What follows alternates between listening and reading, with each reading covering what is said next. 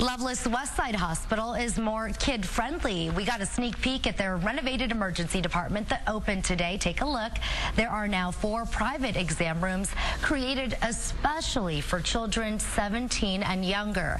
There's even flat screen TVs in the waiting area. The idea here is to make the kids feel at ease while they're there.